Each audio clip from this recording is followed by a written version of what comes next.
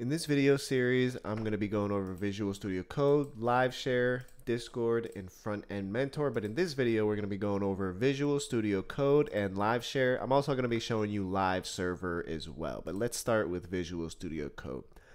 So what is Visual Studio Code? Visual Studio Code, also commonly referred to as VS Code, is a source code editor made by Microsoft. So basically, it allows you to write code go ahead and type Visual Studio Code into a search engine, Bing or Google, and this should pop up here code.visualstudio.com and click the link.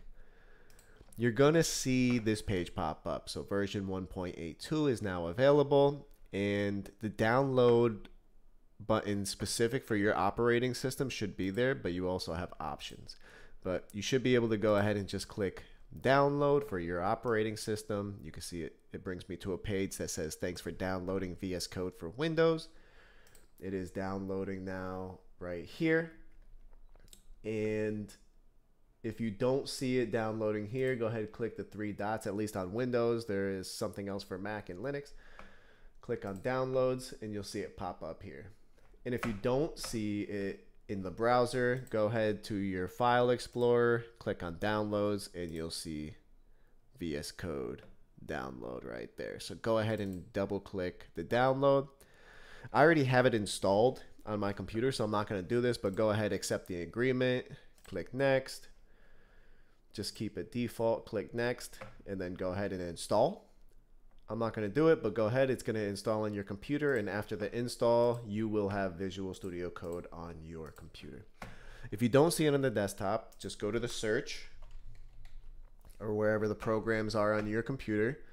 Click on Visual Studio Code and boom, that's Visual Studio Code right there.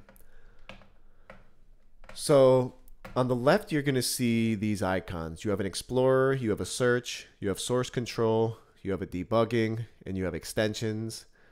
If you don't see these icons here, just go to view and you can see Explorer, Search, Source Control, and Run and extensions.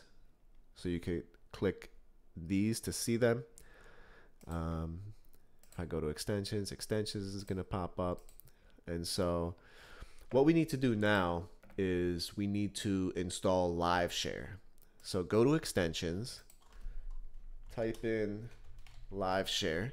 It's going to be the first one that pops up, a real-time collaborative development from the comfort of your favorite tools. It's created by Microsoft and it has 13 million downloads, so it's a really great tool. Mine says disable, yours is going to say install, so go ahead click that install button. It's pretty quick.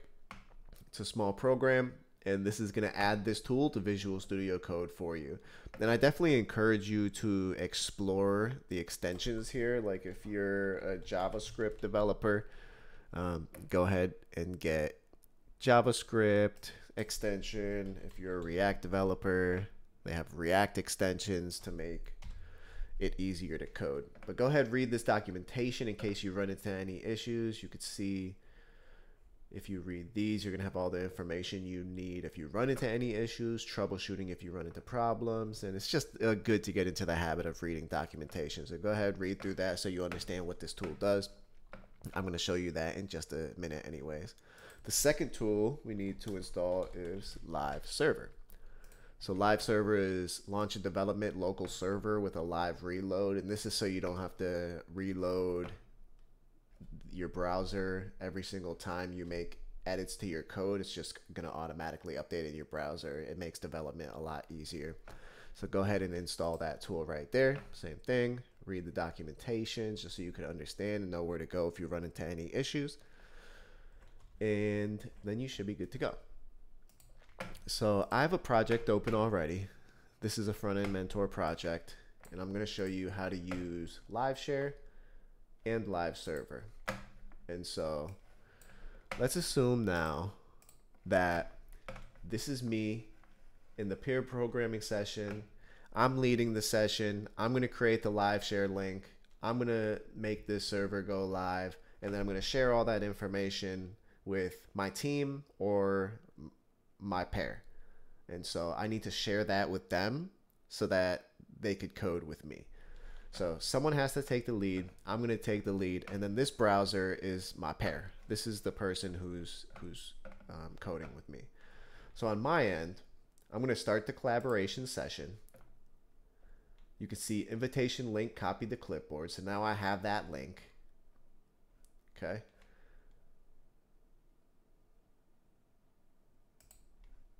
I'm also going to go live. So you can see this is the HTML right here. You can see this HTML right here, your result 76 out of 100, your result 76 out of 100. So this is what live server does. It opens it up in my in my browser. And so this is the collaboration link. I just want to recopy that, make sure I have it. And I'm going to send this link to my partner or my team. And when they click this link, they're going to have access to my code. If they make modifications, I'm going to see it happening on my side. If I make modifications, they're going to see it happening on their side. It's basically like Google Docs, but with code. And so since I copied the collaboration link, share it in a message, share it through Discord, or share it however you want to share it. I'm going to go ahead and just post it in my browser. So they could click it or they could post it in their browser. You're going to see this pop up here sign in or continue as anonymous. Just continue as anonymous. It's a lot easier. It's going to give you an opportunity to enter your name anyway. So whoever shared the link knows who you are. So go ahead, enter your name, join a collaboration session, and then the one who sent the link is going to have to accept that person. So you could see now there's a participant named Jim in the session. And if Jim is typing in his browser, I'm going to see it happening on my screen. Jim is deleting. And then same thing. If I'm typing code in my code editor, J Gabe, Jim is going to see it happening on his screen. So it's a really, really cool collaborative tool makes coding super easy. And now, since I have uh, live server running, I have live share running, I can share a server. So if I have live server is this right here. I'm going to go ahead and share a server. And now any participants, anyone I shared the link with, will have access to this server here. Okay, so you can see, go to live share, and they should have access to the same server that I'm sharing here. So not only can you edit the code, change the code right here in the code editor, but if I'm over here in Connecticut and they're over there in New York, they're going to be able to code with the same code that I'm coding with, and they're going to be able to enter localhost 5500 into their browser and have the same updates in their browser that I have in my browser. So it's just a really, really great tool.